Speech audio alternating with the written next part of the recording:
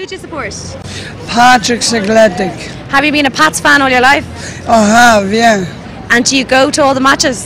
Uh, I used to, but not as much as I used to go, you know. Who is your favourite Pats player? Uh, the fella in the green and white shirt. Okay. And Pats, they haven't been doing too well this season. Do you think they're going to do well this season? Uh, it's just uh, taking a break, you know, for next season, you know what I mean? Like, yeah, keep the good men on the bench. Then, bam, Bob's your uncle, Mary's your auntie. Do you think it's important for like Irish people to support our own soccer league? I do, yeah. I, I don't believe in all that, uh, like the Premier League and all, you know.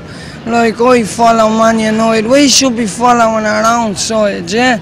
But then now I might be getting into politics. Then like they say, oh we don't want the Queen over here, but yet they follow the Queen's football teams. It's actually a good point, you know what I'm trying to say? So I just think they're all hypocrites, like. But it should be all League of Ireland all the way. Oh, and of course Celtic, I agree with you. all the way.